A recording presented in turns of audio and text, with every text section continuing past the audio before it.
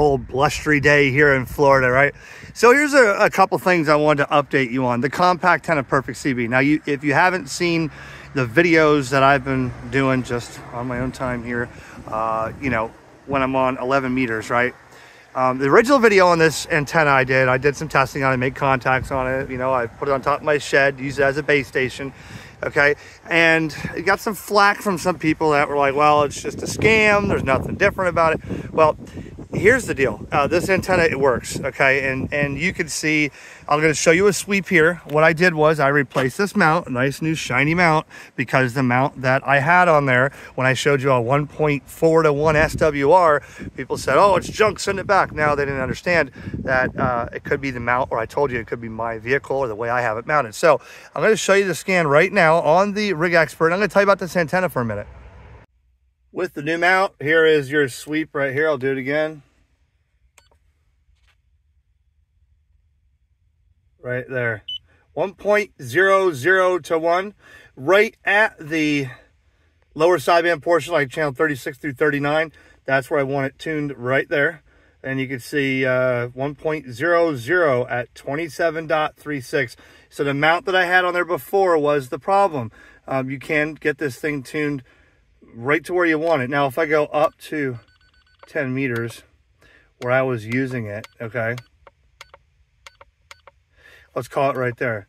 So you still have a two to one right there, but that's not as good. It's, it's, it's usable.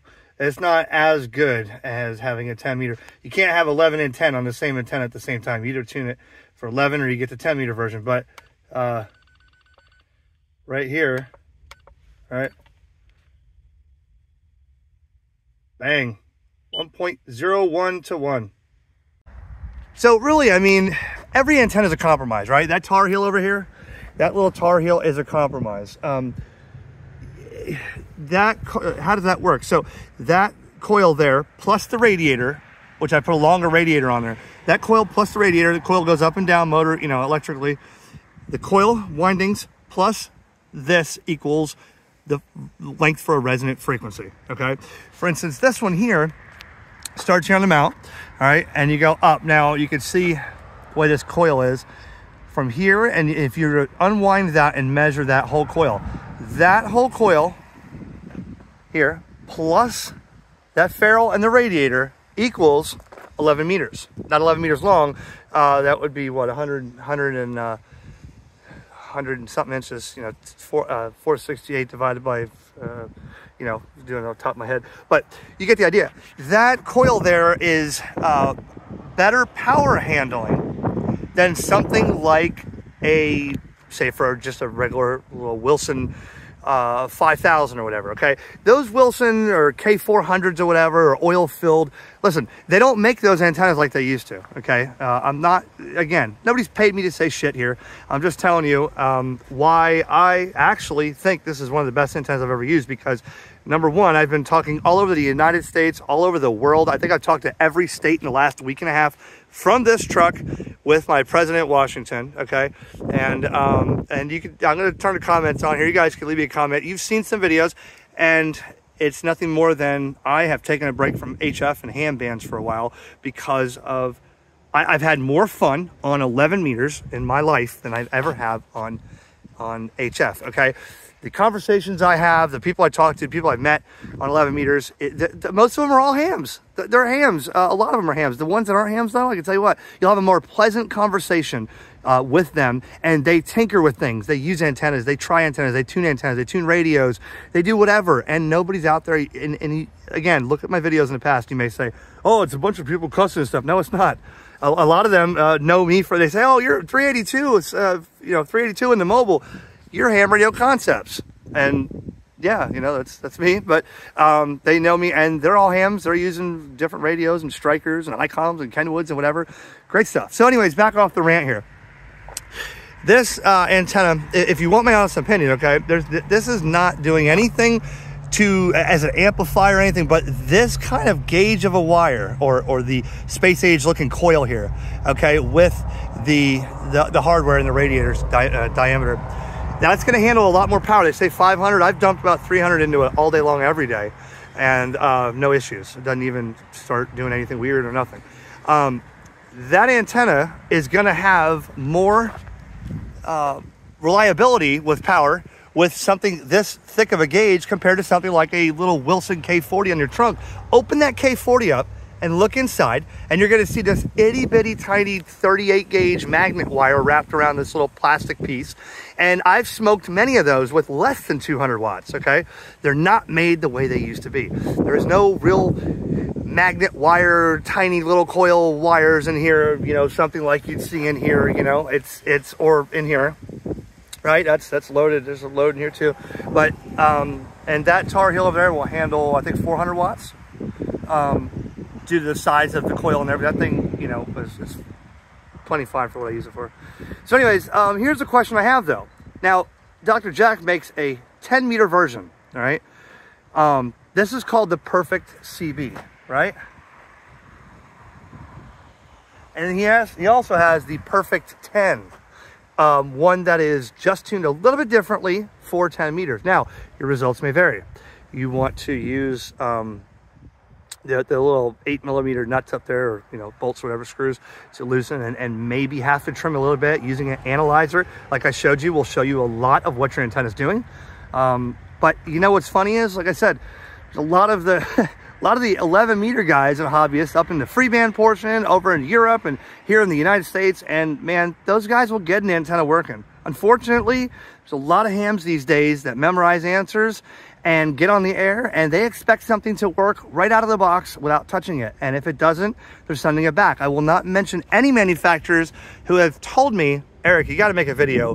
We're getting nothing but complaints and they didn't even open the instructions. Nobody knows how to even set up an antenna, you know, and, and, and a lot of companies got some flack for that. So I'm going to say this, I put my seal of approval on this right here. This antenna, even though it looks cool and it's, you know, people are going to notice you with something like that, okay? Uh, zero issues with it so far. I have smacked some trees with it. I have smacked a couple uh, Arby's drive through today. I forgot I had it on there. It is quite quite tall, 69 inches total. And um, yeah, I mean, it, it's it's the new mount here too. The old mount, um, I had to, this is not a diamond either like that or a comet, but I tried to find the best one, the best reviews, cheap one. Okay, but your results are going to vary. For instance, if I do have, there you go. So here's the old rusty mount that I had on there, okay? And uh, worked for a while with a small antenna on it. Okay, you can see there's a piece of red wire in there. What's that for? I could not get the thing to tighten, and I tried with the wind load to get that thing to hold. But uh, bottom line is, see how that's rusting? You see how nasty it is? It's only about a year old. All right, that's uh, that's what you get when you order cheap mounts. And somebody once in back in the day, you know who he is. I won't say his name. You've seen him at every Hamfest. I made a comment one time years ago, and he said, "Eric, there is a difference between this company and Diamond. Give them respect. I do. This is not a Diamond mount. It's not a Comet mount, but uh, it's not an MFJ mount. It's a cheap one. Okay, um, cheap mounts will do this, and cheap mounts will give you different performance or bad mounts will give you different perform different performance and different tuning okay uh, looking at this side man it's getting cold out here i know you want cold come to florida you guys up north have no idea what cold is high high yeah 500 watts that'll handle right there right? But that's now this is a diamond k400 mount and that's about three years old look at it. You see it? Three years old okay? No issues with it whatsoever right? And uh this one here is about a year old and you can see it looks almost identical. You'd think wow you know it's looks identical doesn't it? Same same thing here right? No it's not. That's the difference.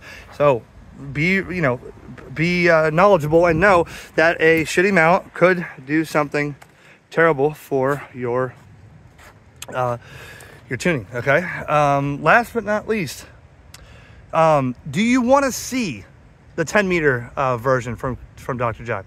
I haven't asked him, and uh, I know that he said that a lot of people are already buying this antenna right here based on my videos. I guess I'm the only one who's made videos on this and showing it in operation. Um, people are buying this already from DX Engineering and Ham Radio Outlet and stuff on the CB version, but not the 10 meter version. Uh, not too much. Now I'm going to ask you guys as hams, would you consider if I showed you how well it worked on 11 and even on 10 when I didn't have it tuned for 10 with the construction and knowing that this thing isn't going to rust apart because it is made 100% in the USA, hand tested, hand tuned, handmade. You guys always yelled at me, stop buying China, buy American. Nobody makes American anymore. That is made in America, I can guarantee it. And I can tell you that when I make a video in a year and a half from now, I'm going to show you that none of this stuff rusted apart. All right. Would you consider the 10 meter version or why not? I'm dying to know. Is it because CB operators don't care what's on their vehicle and they don't care what it looks like? Is it because CB operators know that any antenna will work or maybe, you know, whatever? Why would a ham not buy this antenna or why would they? You saw the analyzer sweep. You saw what I've been doing on this thing on 10 meters, on 11 meters, the way it is. Um, and should I obtain a 10 meter and put it on the analyzer and make contacts on it?